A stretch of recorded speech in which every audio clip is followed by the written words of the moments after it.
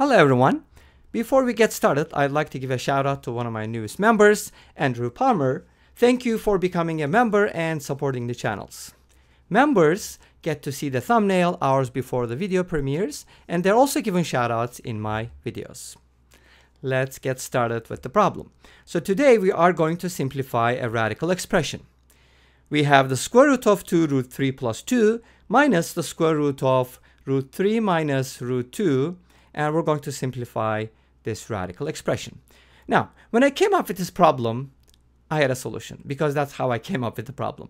But that solution did not really satisfy me because it kind of looked a little artificial. So then I thought about another solution to this problem and I found another solution. And I'm going to share that with you first. So I'm going to be presenting two solutions and let's get started.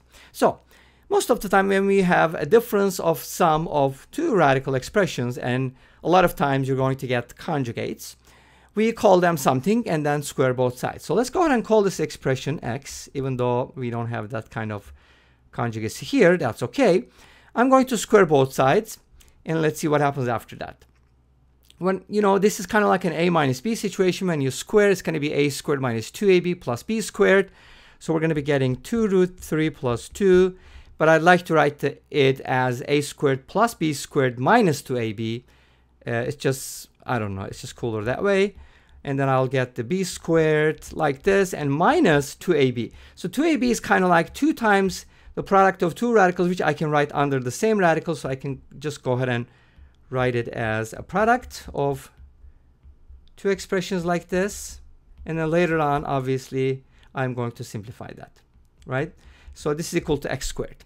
Here, the only thing that simplifies is nothing. Well, pretty much uh, 2 root 3 plus root 3 is going to simplify, but nothing cancels out. So this gives us 3 root 3. And then maybe I want to write the radical next minus root 2. And then I have a plus 2 and then minus 2 times this expression. Now let's go ahead and expand it and see what happens. Because as it is, it doesn't really mean anything like I can't really square root that expression. But if I distribute, I have a higher chance. So if you multiply 2 root 3 by root 3, that's like 2 times 3, which is 6. And then 2 root 3 multiplied by negative root 2 is going to be 2 root 6. And then I get a 2 root 3 from here and minus 2 root 2. Now notice that there are no like terms. It's just going to stay like that. So here I have an expression that's kind of gigantic and kind of scary looking like. But don't worry. The key is simplifying what's under the radical. Because if you can, then we're going to get uh, end up with a simple expression.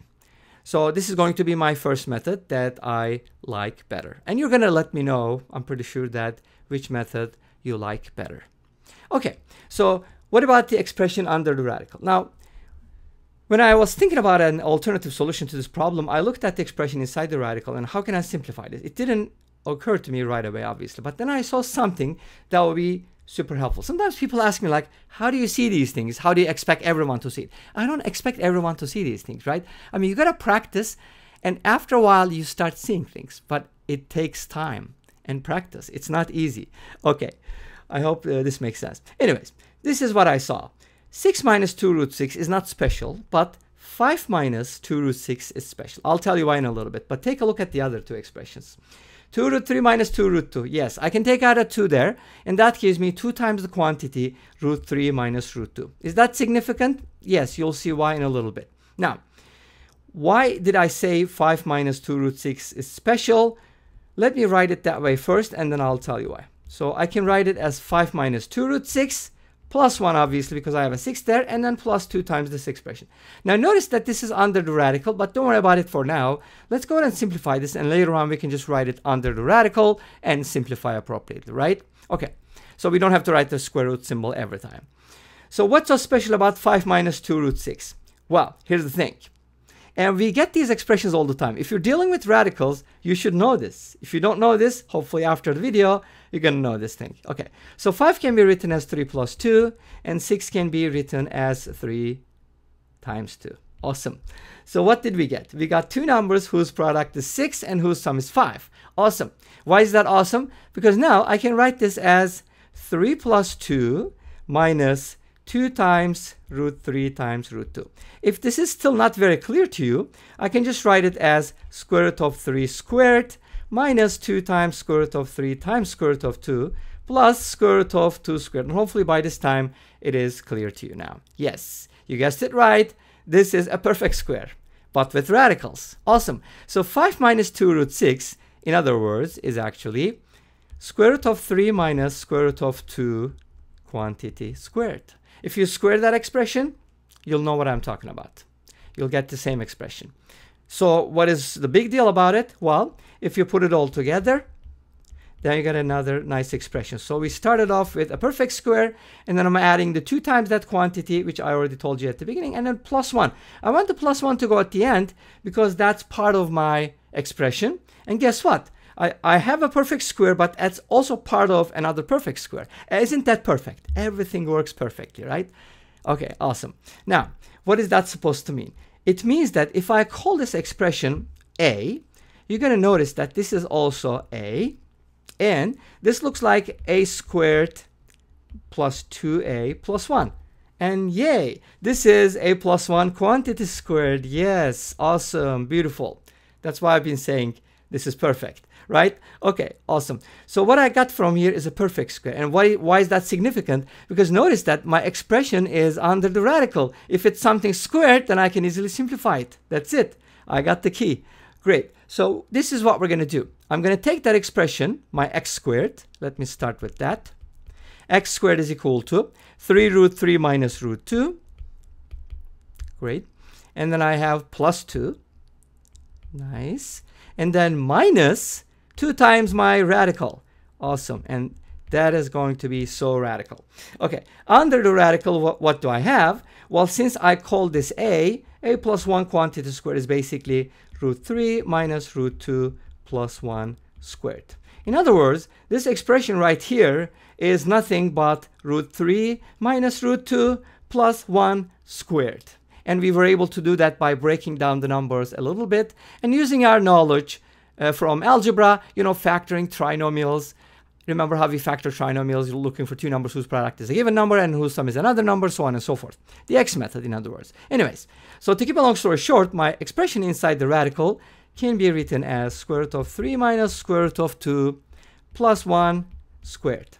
And obviously, this is going to be, this is going to be a positive quantity. So when I square root it, its square root, something squared square rooted, will be itself, right? Because root 3 minus root 2 is positive, so my expression is positive. So from here, x squared becomes what? 3 root 3 minus root 2 plus 2 minus 2 times the quantity root 3 minus root 2 plus 1. So in other words, square root and the square cancel each other out. Some people just like it that way. That's not very technical and rigorous, but that's okay. Nobody cares, right? So now, x squared it becomes what? 3 root 3 minus root 2 plus 2. Now let's go ahead and distribute it 2. This is the fun part. Minus root 2 root 3 plus 2 root 2 minus 2. And then here, I can kind of cancel out the 2's finally.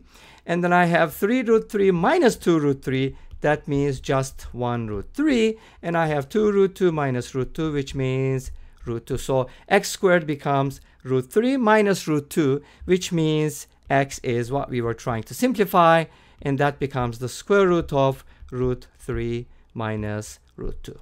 So my original expression, what I started with, in other words, let me rewrite that, 2 root 3 square root of square root of 2 root 3 plus 2 minus the square root of root 3 minus root 2 is equal to square root of root 3 plus, actually I made a mistake here, right? That is supposed to be a plus 2. Here we go. Oopsies. Okay, going back and fixing the issue. Yes, this is supposed to be equal to the square root of root 3 plus root 2. So at this point, you've probably noticed what I'm going to talk about next, but maybe you haven't. So let's continue. So this brings us to the end of the first method, so let's go ahead and talk about the second method. Okay. Like I said earlier, I like the first method better, but it's just a matter of choice. You guys are going to let me know what you think about it, right? Which one do you like better? That's why I want to present two methods so you can compare and contrast. So I'm trying to simplify this expression right here. What is this equal to, right? I don't know what it is. So here's what I'm going to do. Remember what I told you at the very beginning. A lot of times I said that these expressions will come with their conjugates and then we call it, you know, we set it equal to something and then we square both sides and then we take advantage of conjugates. For example, if I had something like, you know, square root of 5 plus root 3 and then plus the square root of 5 minus root 3, I could just call this x and then square both sides and certain things will cancel out and I would get rid of most radicals and I would get a nice answer, right? But that's not the case here. So I don't like that. But I want to make it that way. So how can I make it that way? Well, here's what we can do. Think about this expression right here. And how about its conjugate? What is its conjugate? Well, its conjugate is this one. Square root of square root of 3. Or in other words, square root of root 3 plus root 2. How about we consider an expression like this one? Okay, maybe I will consider something like this, right? Okay. Can I just simplify this expression and hopefully get something like that. Let's call this y. And don't ask why again, right? Let's square both sides. We get square root of 3 plus square root of 2 plus square root of 3 minus square root of 2 minus. What's so significant is that when you multiply these two things, you get 2 times 1. That's cool. And this gives you y squared. Root 2 cancels out. From here, you get 2 root 3 minus 2 equals y squared. And y becomes the square of 2 root 3 minus 2. Notice that I didn't get that. I got the minus version. So what does that tell me? Try the plus version. So let's go ahead and try another one. How about we start off with something like this. The square root of root 3 plus root 2 plus the square root of root 3 minus root 2. And let's call this x again. And it's not the same x as before, so don't get confused. If you that confuses you, call this z. Okay, let's go ahead and call uh, you know, square both sides here again. This is going to give me a squared plus b squared plus 2ab. As you know, ab is going to be 1, so it's just going to be 1. And here, root 2 is going to cancel out. I get x squared equals 2 root 3 plus 2. Therefore, x equals 2 root 3 plus 2, but square root of that. Now, what is that supposed to mean? I started off with this, right? I started off with something like this and it equals that. But if you look at my original expression, it was this minus this. So now, if I substitute this expression here, I get square root of root 3 plus root 2 plus square root of root 3 minus root 2 minus the square root of root 3 minus root 2 and these two cancel out leaving us with the final answer. And this brings us to the end of this video. Thank you for watching. I hope you enjoyed both methods. Please let me know. Don't forget to comment, like, and subscribe. I'll see you tomorrow with another video. Until then, be safe, take care, and bye-bye.